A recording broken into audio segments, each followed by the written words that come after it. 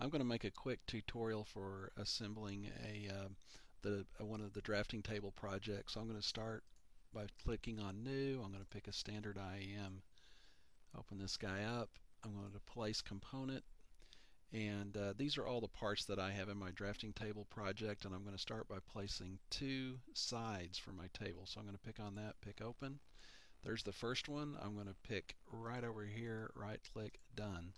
Now this one is the one that's grounded and you can see in the tree that it was the first one placed. There's a little push pin next to it which means it's going to stay in place and all the other parts are going to try to align themselves to that part. Next thing I want to do is set up relationships between these two sides using constraints. To select constraint and one of the first ones I'm going to do is use the flush constraint and I'm going to select on top of that surface and the top of this surface and that aligns them along that plane and I'm going to apply that and then I'm going to do the same thing picking right here and right here and that'll align those along that plane right there and I'm going to apply that. Now next thing I want to do is get the distance between the two set right and what I'm looking for is 30 inches from the outside edge of this side of the table to the opposite side of the table. I want 30 inches total width and the way I'm going to do this is I'm going to use a flush again and I'm going to pick uh, this plane and this plane. And actually even though it looks like one leg disappeared what what's happened is they're just sharing the same space right now.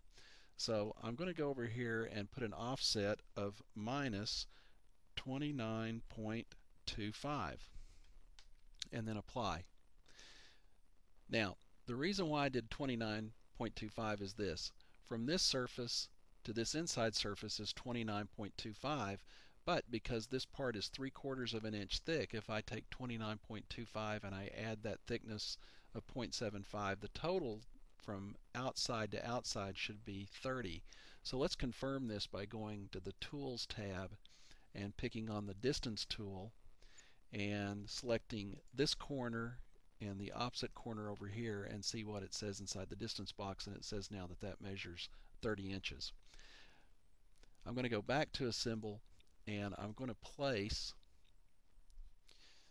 a PVC tube that's 30 inches long and I'm going to place it I want it to go right inside these two holes here I'm going to pick right there but then also I use that for storage over in these four holes over here so I can pick one two three and four more of those and right click and pick done.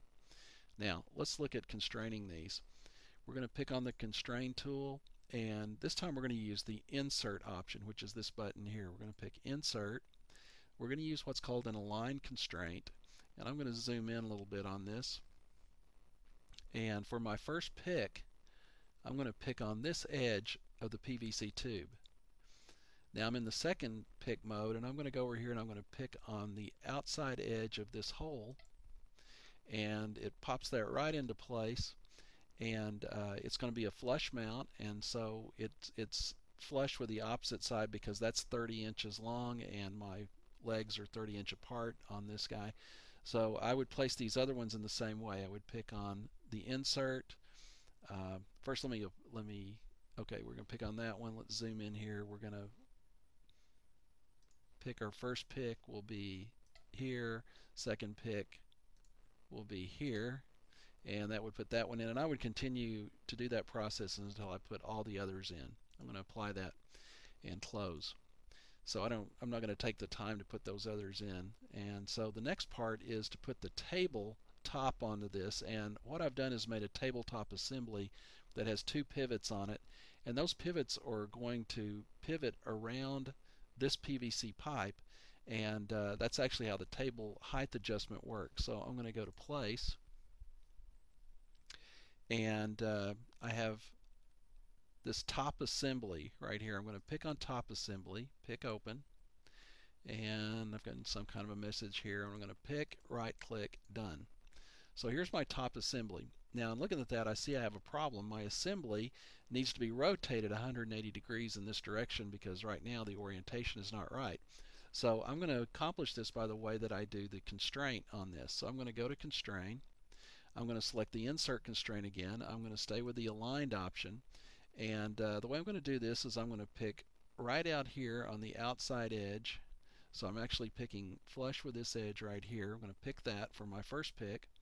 And now Inventor wants my second pick, so I'm going to go back over here and I'm going to spin this guy around and zoom in.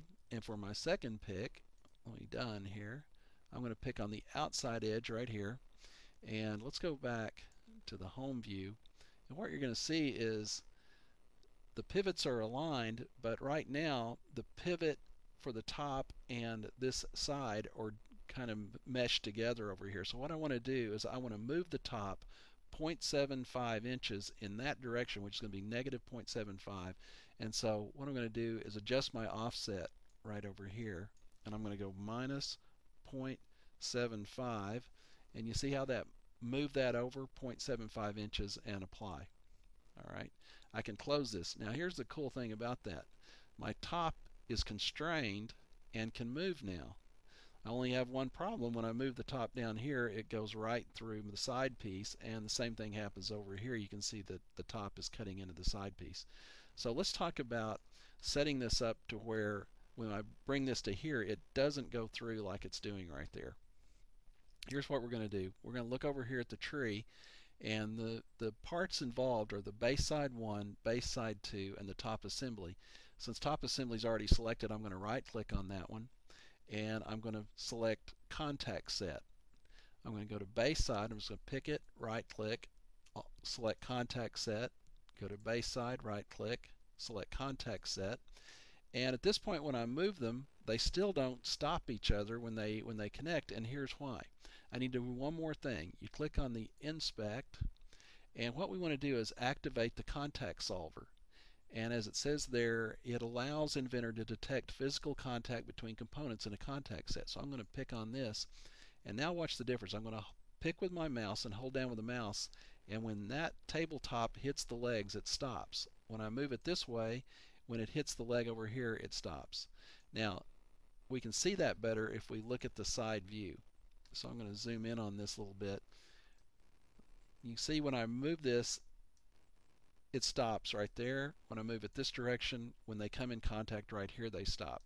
Now the key to these parts being able to move with the contact solver on is they cannot make contact as they pivot. So the way I design my table is that the pivot piece right here allows for a 32nd of an inch of clearance between those two parts and really it doesn't matter what I use as long as I have some clearance in that. So that's the key. So let's go back over here and look at that. And there's what our table looks like with a few assembly constraints on it.